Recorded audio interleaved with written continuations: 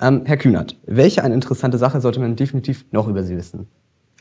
Äh, ich bin äh, Sportnerd äh, und da denken immer alle, boah, der ist wahnsinnig sportlich. Ist er gar nicht, äh, sondern ich gucke einfach ganz viel Sport. Ähm, Was schauen Sie? Handballer von Hause aus eigentlich, gucke aber auch ganz viel äh, Fußball und ja, also mir irgendwelche Sportveranstaltungen irgendwo in der Welt anzugucken, völlig egal wo, ähm, das ist so mein, meine Leidenschaft. Und Ihr Lieblingsverein im Fußball? Ich habe eine Dauerkarte bei Arminia Bielefeld. Da sind Sie fest verankert. Alles klar. Absolut. Letzter Platz, zweite Liga, super im Moment. Mhm. Super.